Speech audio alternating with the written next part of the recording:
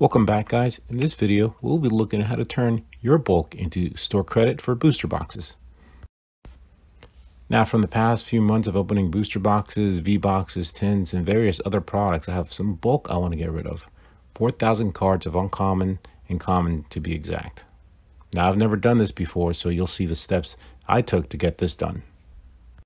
First up is counting your bulk. Most places recommend counting in stacks of 100 cards and then wrapping each stack of 100 cards individually. For this, I ended up using some old shipping supplies I had laying around from eBay. I found some non-padded, large enough bags that I was able to cut up into four pieces that I could use to wrap each stack of cards and protect them. Now, it will take you a couple times to figure out how to wrap the cards. Just make sure you get every corner to avoid any damage.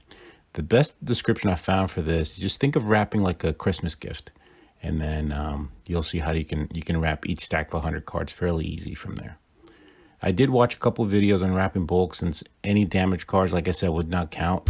You could really use anything to wrap up the cards, even white, even plain white paper or newspaper. So whatever you have around should be fine.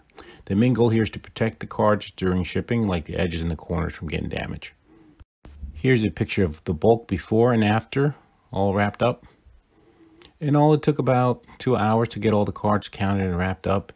You could easily also use like sandwich bags or just plain paper, any other type of paper. But I, I used what I had and it worked pretty well.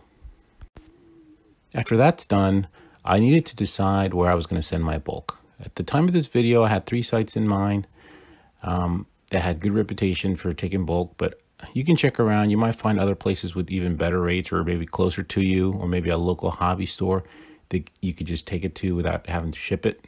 But for me, uh, the first one I was going to look at is PKMN Colosseum. The second one was going to be Safari Zone. And the third one is going to be Deriums.com. Now, before I go too far into the next step, I did want to mention that I thought about selling my bulk on eBay or even splitting up the bulk and making smaller lots. Uh, I decided in my situation it was not worth my time. So sure, I could have made a couple more bucks by putting a little bit of time and effort into it. But for me, it was just not worth it. I'd rather get all done in one shot and just be done with it. Okay, so PKMN Colosseum. The biggest thing with bulk is finding the rates for each of these places. Usually everything is right on the site. If not, there's usually an email you can reach out to as well to get more information. So the rates for PKMN uh, Colosseum, as I'm doing this video, is 3 cents per card of common or uncommon with an option of trading in 3,000 cards for either a Battle Styles or Chilling Reign booster box, or trading in 3.5 thousand cards for a Vivid Voltage or Evolving Skies booster box. Now, as you're looking at this site or any other site about submitting your bulk, the rules are listed on the site, pretty clear. They're usually uh, numbered out one, two, three, four of what they consider as bulk. So make sure you understand it 100% before sending in your cards. For example, some places do not take basic energy cards. They take special energy cards are fine, but not the standard cards. This particular place did not take energy cards. Now, as expected, rates will vary depending on the kind of card you're sending. So if you're sending just basic rares, holos, EX, GX cards, V cards, they're all listed out on the site. Now, your job is to actually count them out. If you don't count them, they will count them as an uncommon or common card. Next up is Safari Zone. The nice thing about them is that they do accept energy cards, just base basic energy cards at 2 cents per card. They also take jumbo cards at 25 cents each, and the their current uncommon and common rate is at 0.048 a piece. Now, the one thing that they don't have is there's no incentive to do store credit with them. So whatever you get from your card is what you get, either through their store credit or their uh, PayPal uh, payment. After that, I checked out Deriums.com. Now their rate is at 0.04 per card of uncommon and common. And they offer an extra 10% if you go for their store credit.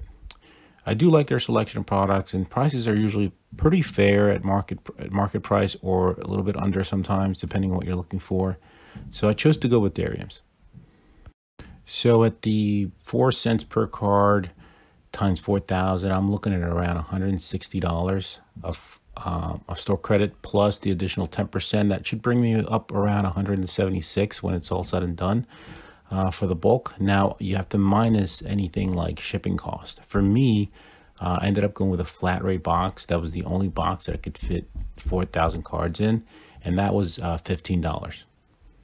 All the sites that I looked at and mentioned that they expect mint like new condition cards uh, several times on their site. So if any car cards are damaged, they will not count them towards the total, leaving you to pay for the shipping back or just have them get rid of them. Um, I will see how that works out. Hopefully it doesn't happen to me since all the cards I'm sending are pack fresh, um, but I'll keep you posted. Now that I have everything properly packaged, I picked the store that I was going to submit it to. I submitted the form online. Most places have their online forms right on the site. So you fill it out, uh, then you print out, um, their email confirmation. Um, so the next step was picking out the lowest shipping option uh, with tracking. Tracking is very important because you want to know exactly where your package is during transit and when it gets delivered to them. Now, depending on the volume of cards you're shipping, uh, when you package your item, you want to make sure there's no room, no space for the cards to move or shift around. If there is, you want to put some extra padding in there to make sure everything stays in place as it does the shipping, um, you know, through whatever you pick, UPS or FedEx, uh, because uh, boxes do get thrown around quite a bit. So you don't want them to get damaged from when you put them in the mail to when the place gets them. As mentioned earlier, I ended up using the USPS flat rate box. Uh, I used the medium uh, flat rate box as seen in the picture here. It was the perfect size to fit 4,000 cards once they were all wrapped nicely. Um, as you can see, they were a little bit over 16 pounds. Now, um, I did do some other research on possibly using media mail, which is not allowed. So I wouldn't I wouldn't even try to ship through media. Um, just pay the extra shipping, and uh, it also helps with the speed as well. If you with the flat rate box, if you try to do media shipping, it could take several weeks for it to get to the destination. Most places will ask to give them a few days after the tracking shows is delivered to them, just to allow them to process your bulk.